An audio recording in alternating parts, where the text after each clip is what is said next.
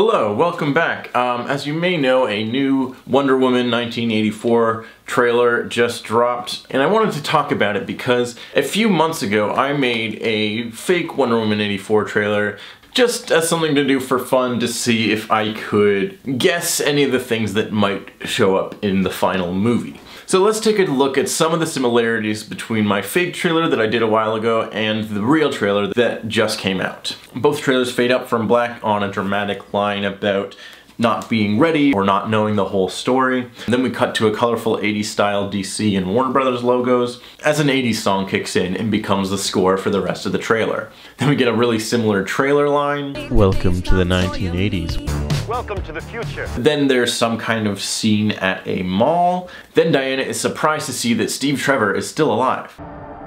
Steve. Chris Pine? After that, there's just a montage of a lot of trailery scenes, which are accompanied by the standard trailer text of next summer, followed by some kind of tagline that hints at this film taking place in a different era. I went with the 80s are back, which is really dumb, when the real movie went with a new era of wonder begins, which is possibly equally dumb. Then we get some cool action time to the music.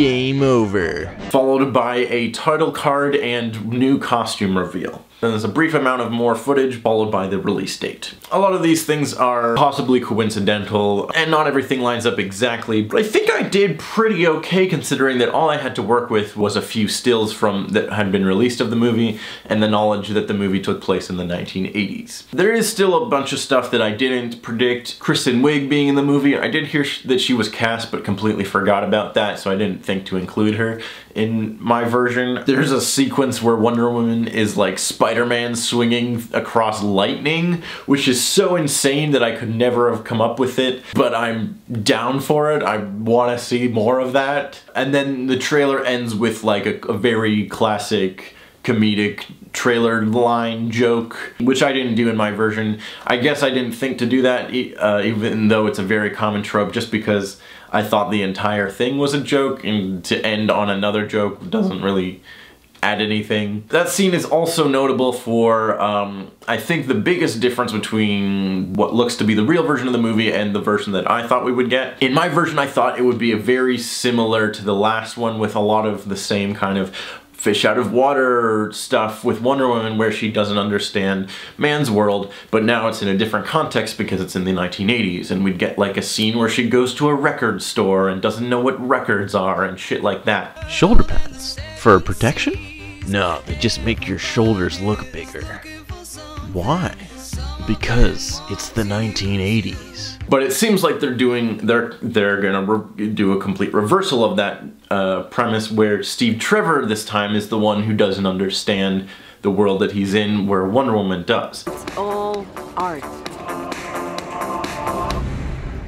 Uh, that's just a trash can. It's just a trash can. Yeah, yeah. They flipped the whole premise on its head. How could I have possibly come up with that? That being said, structurally these trailers are pretty similar overall, and I think that says a lot about the structure of current movie trailers as well as a lot of trends in films in general. A lot of the things that are different from my version versus the real version are things like I didn't guess the correct 80s song, or Steve Trevor is the one out of time in this movie as opposed to Wonder Woman being out of time in the in the first one. Pretty minor things overall, which again kind of just says a lot about the state of current movies and trailers. This is like the what? Like 40th movie that's set in the 80s that's come out in the last like five years as well as just like the very, very specific structure of trailers nowadays that you can break down the formula to an exact science. There's a really great video that I'll link in the description that covers the exact formula of current movie trailers and it's one of my favorite videos the fact that I was able to get anything close at all is in a way kind of worrying because it, it means that movies kind of are feeling more you know, paint by numbers uh, overall. Now, I first made this trailer um, in June, I think, which was because I thought we might get a Wonder Woman trailer during Comic Con, and I thought if I released a fake trailer, I might get a lot of accidental clicks and trick people into watching what is essentially just a joke. However, that didn't stop people from accidentally clicking on my video, which is where this story gets a little interesting. So if I look at the analytics of my video, um, it's got around 2,500 views, which is much more than most videos on my channel. So I'm not gonna attribute that to people purposefully searching for this video. Interestingly though, around 500 of those views are just in the last three days. That's over 20% of the entire viewing population of my video just in the last couple days, which means that it's more than likely that they were looking for the real Wonder Woman trailer and accidentally clicked on mine which is exactly what I had planned. If you keep scrolling through my analytics, you'll get to see the majority of audience retention only lasts around 30 seconds, which means that people get around 30% into the video before they click away. Uh, which is probably because they realized that it was not the real trailer. so that's which is also great uh, for a different reason. And then you'll also see that the like to dislike ratio is about 50%. What's great is that if you keep looking further, you'll notice in the last couple days I've gotten angry comments on the video, which I presume are from people that were looking for the real trailer and then clicked on mine by accident and then got upset at me for making a fake one. Here are some of my favorites. What a childlike video. I expected much more. Garbage, and you should be embarrassed. wow, that is great. Before the real trailer dropped, the only comments that I got were like, ah, oh, you got me, or hey, that's kind of funny. But now that the real trailer is out, and people are like really upset that they couldn't find it right away somehow. I don't know how they even found my video based on because if you search Wonder Woman trailer, it does like there's there's just dozens of the real trailer that comes up. So I don't even know how they accidentally found my video. But the fact that they did and realized that it wasn't the real video made them so angry that they had to make fun of the video and call it literal garbage is incredible. So I'm gonna chalk that up as a win for uh, tricked people that didn't want to be here. In any case, I am still excited for the Wonder Woman 1984 movie.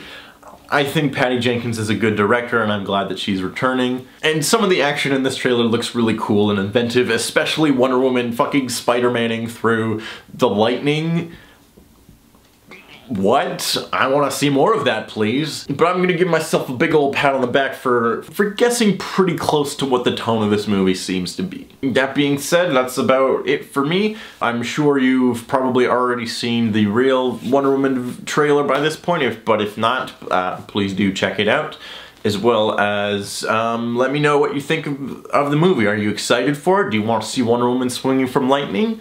And if you haven't seen it already, check out my uh, original video right here. And um, I I think I had fun doing it. It's pretty stupid, but I had a good time with it. If you want to see dumb jokes, check it out. That's about it for me. Um, thank you for watching and tune in next time for something else.